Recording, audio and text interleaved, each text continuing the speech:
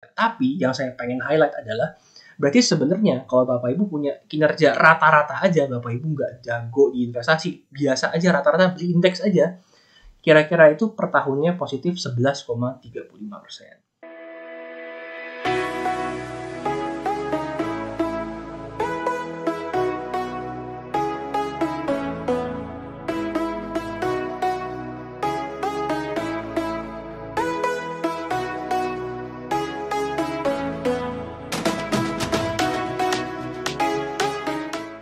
Halo, welcome back. Balik lagi bersama saya Adi Prasetya. Pada kesempatan kali ini saya pengen bahas soal sebenarnya investasi di saham itu nguntungin gak sih atau sebenarnya malah bikin buntung gitu ya. Nah, karena di masyarakat itu sebenarnya kebagi dua nih Bapak Ibu. Satu yang bilang bahwa wah investasi saham itu pasti rugi ya kan. Teman saya rugi, gak cuma di saham, di lain juga masalah gitu ya. Ada juga yang tapi yang di sisi lain bilang investasi saham itu wah nguntungin banget. Saya setahun 100% atau sebulan 100% atau bahkan tiga bulan seribu persen beli saham ini gitu misalnya ya. Nah tapi kenyataannya tuh kayak gimana sih? Mungkin saya pengen nengahin aja nih dengan menggunakan sebuah data. Jadi gini, walaupun strategi dan pilihan saham setiap orang itu berbeda-beda, nih loh, setiap orang milihnya mungkin saya milih saham A, Bapak Ibu milih indeks, Bapak yang misalnya Bapak Ibu lain itu pilihnya saham-saham sektor A, B, C, D, E, F, G gitu ya.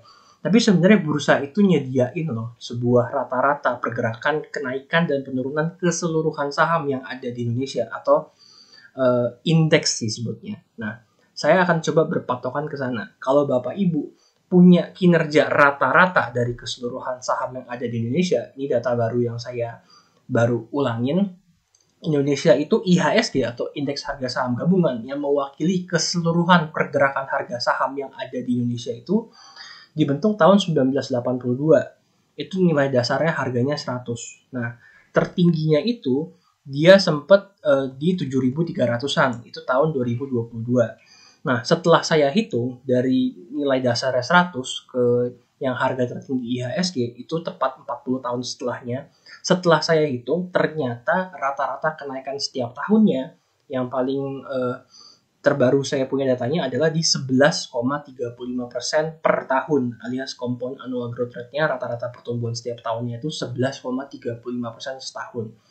Jadi dapat dibilang kalau Bapak Ibu punya return saham di bawah 11,35% eh, masih harus memperbaiki strategi tradingnya tapi kalau udah di atas 11,35% per tahun kira-kira berarti Bapak Ibu udah jagoan, udah jago karena bisa ngalahin performa rata-rata dari seluruh saham yang ada di Indonesia. Tapi yang saya pengen highlight adalah berarti sebenarnya kalau Bapak Ibu punya kinerja rata-rata aja, Bapak Ibu nggak jago di investasi, biasa aja rata-rata beli indeks aja, kira-kira itu per tahunnya positif 11,35 persen.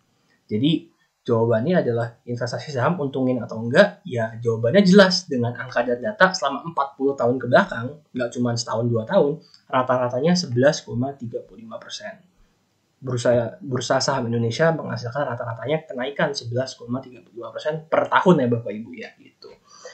Oke, mungkin demikian dari saya. Semoga bermanfaat, semoga memberikan uh, apa ya insight baru gitu ya rata-ratanya. Hmm, mungkin informasi tambahannya titipan adalah bagi Bapak Ibu yang pengen lihat course buku online course dari Ryan Filbert dan tim bisa aja cek langsung ke deskripsi di bawah ini. Semoga bermanfaat. Sampai jumpa pada kesempatan selanjutnya. Thank you.